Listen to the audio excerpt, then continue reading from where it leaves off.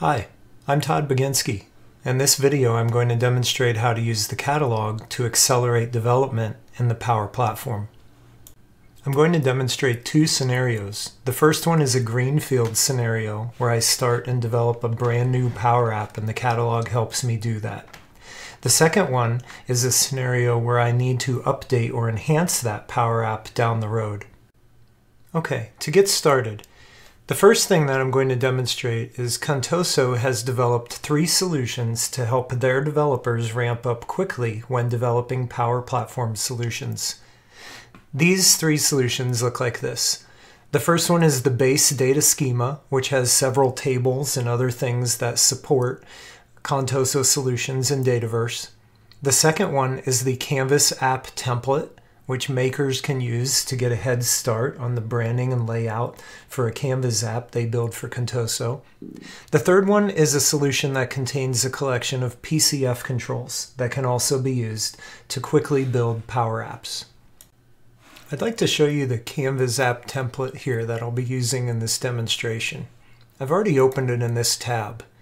As you can see, I have a few different screens inside of it, and it's essentially a stubbed out app that has a nice navigation and some various controls that may be used in common use case scenarios within Power Apps. I'm now going to use this particular app and build out a travel request approval Power App. So how do I acquire this app so I can start building on top of it and make my travel request app? The first thing I do is I go and I take a look in the catalog. And here's what the catalog looks like. I can see inside of the catalog as a developer that there are several solutions available for me. And notice here is that Contoso Canvas app template solution that has been published to the catalog. I'm going to take note of the catalog item ID right here because that's what I'm going to use to deploy it to my development environment. Here's the pac CLI command I use to actually deploy it to my environment. Pac catalog install. Notice the catalog item ID parameter is equal to that GUID that I was looking at back in the catalog user interface. The target URL specifies which environment I would like to deploy this to. Okay, so now I've finished developing my travel requests app. As you can see, it definitely came from the template, although I've enhanced it and changed some colors in it. My app is fully featured and goes and gets real data and filters it appropriately. And I even have a Power BI report built in that rolls up the data not just for my travel requests, but for others all throughout the company. As you can imagine, there's probably many things that support this particular solution. Here are the different solutions that I created that contain all of the different components that build my travel request system. As you can see, I have connection references, my data schema, environment variables, flows, the Power App, which I just showed you, reports, and even the ability to put in some sample data. If I open the Power App solution, here you can see the travel request tablet, which is this one right here. Now that the application is complete, I'd like to take all the solutions and put them inside of the catalog. Here are the commands that I would use to do that. In this case, we use pac catalog submit.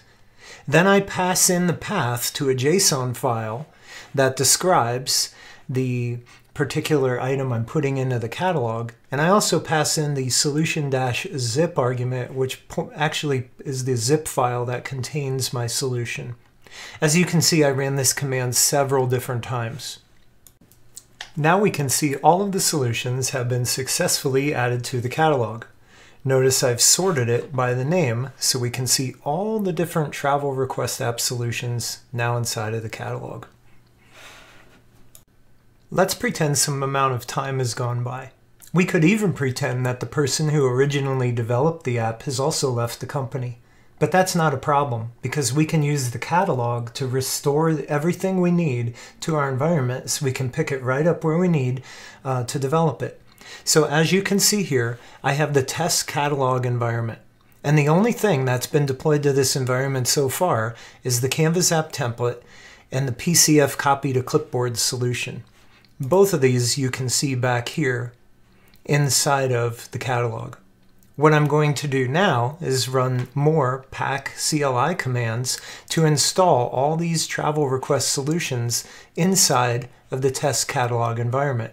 Then I'll be able to develop and enhance the application again.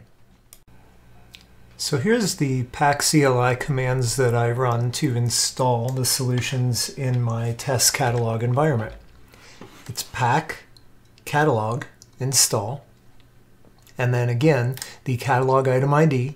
And so I ran this command multiple times with a different ID for each of the solutions I deployed to the target URL, which is my test catalog environment. After all the commands are run, we can now see that all of the solutions are available inside of my test catalog environment.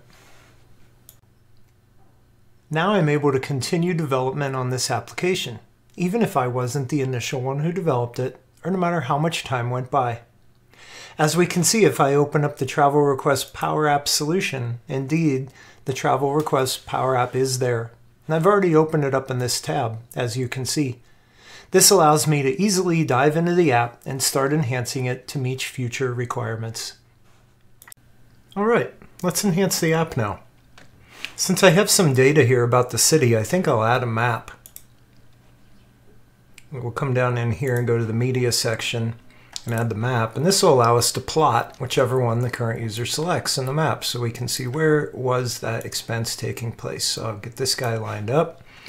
And then the name of this gallery right here is the GLR requests gallery. So I'm going to use its selected item to populate the map.